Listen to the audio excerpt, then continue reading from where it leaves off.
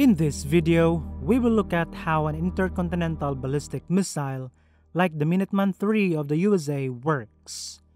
First, we'll look at its major parts, then how it is launched, then what happens during its flight, until it reaches its target.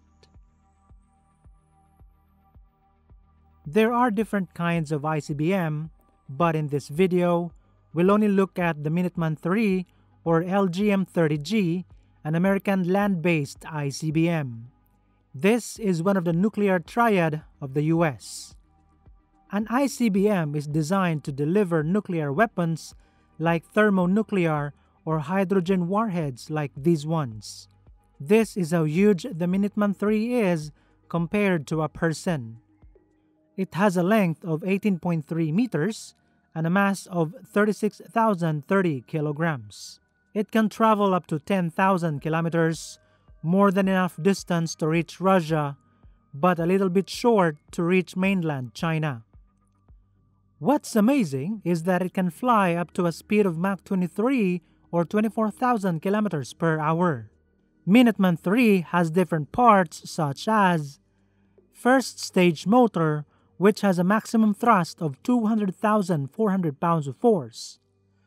For reference, the engines of the F-22 have a max thrust of 35,000 pounds of force.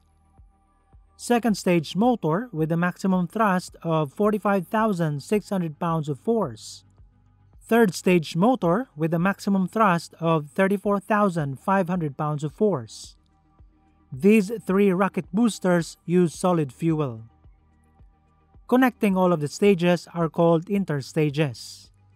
This is the post-boost vehicle, or payload bus, or fourth stage, which is responsible for delivering the warheads to the final point.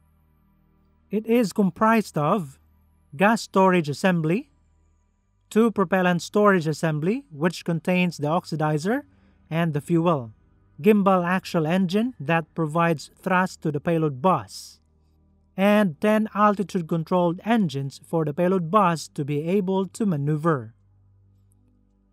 This is the missile guidance system, which is comprised of missile guidance computer, which computes the navigation data provided by the gyro stabilized platform. This computer also sends commands to all the parts of the missile.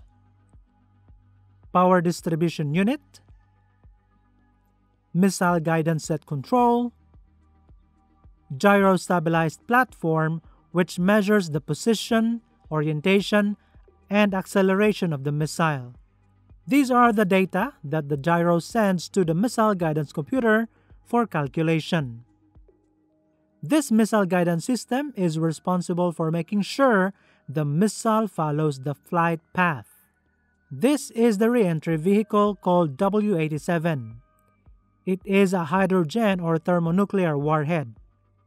This warhead is comprised of carbon nose tip, contact sensor, arming and fusing with battery, radar altimeter and antenna, firing system, nuclear warhead comprised of primary stage and secondary stage.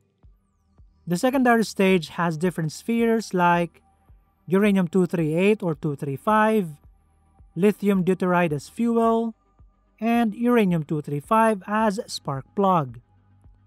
The primary stage is comprised of different spheres like chemical explosives, beryllium, plutonium-239, and deuterium-tritium gas mixture. These two stages are suspended in a polystyrene foam and are encased in a uranium-238 case and this is where the neutron generator and deuterium-tritium reservoir are located. This is the spin gas generator and spin nozzle for stabilization. This hydrogen warhead uses a different design as its secondary stage is a sphere compared to older bombs design which has a cylindrical secondary stage. Although their shapes are different, they contain almost the same parts and the mechanism is the same. Now, we already have made a video talking about how exactly a hydrogen bomb works. Watch this video so that you understand the details on how it works. And this is the shroud that covers the re-entry vehicle. Now, this is how the ICBM works. As soon as the launch order is received, most likely from the country's president, these two officer crews will check the launch instructions. Then, they will set the flight path and launcher selector switches. After that, the two officers will insert each of their own keys and simultaneously turn them, therefore initiating the automatic launch sequence. After 60 seconds, the missile lifts using the first stage motor. At this point, the missile is already fully automated using its missile guidance system flight computer. This means that the crews on the ground can no longer control the missile. This was done so that it cannot be hacked by the enemies. Now, the MGS flight computer will send a command to the thrust vector control of stage 1 motor to maneuver the missile to the flight path. After 60 seconds or when the missile reaches an altitude of 24 kilometers, the stage 1 motor separates and the stage 2 motor is ignited. The shroud is also jettisoned. After 120 seconds, the second stage motor separates and the stage 3 motor ignites. Then, 180 seconds later, or when the missile reaches the altitude of 190 kilometers, the stage 3 motor separates and the engine of the payload bus or stage 4 is activated. The stage 3 motor separates and the engine of the payload bus or stage 4 is activated. At this point, the payload bus is already in outer space. When the payload bus reaches the designated final point, the MGS flight computer pre-arms the re-entry vehicles. They are called re-entry vehicles because they re-enter the Earth's atmosphere from outer space. Afterwards, the payload bus adjusts its position so that the RVs can be set to its targets. After setting their trajectories, the chaffs are released first in order to conceal the RVs from the enemy radars. Then, the re-entry vehicles are released from the payload bus. Upon their release, the spin nozzles activate, therefore stabilizing each RV. While the RVs are flying, they will simultaneously arm therefore activating the fusing system. It will reach its target while spinning. When the radar altimeter detects the designated altitude, the warhead is detonated or what we call an air burst. It can also do a ground burst because it has a contact sensor which detonates the warhead when shot sensor hits a hard surface.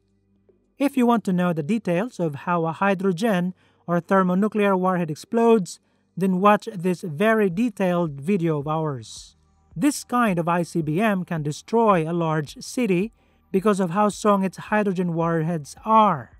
The W87 Mod 0 can generate 300 kilotons of explosive force and the Mod 1 can generate 475 kilotons of explosive force. For reference, the Fat Man was only able to generate 21 kilotons. And this is how an intercontinental ballistic missile works. Watch these videos if you want to see a very detailed explanation on how atomic bombs like Fat Man and Little Boy work, the bombs that were dropped in Hiroshima and Nagasaki, Japan.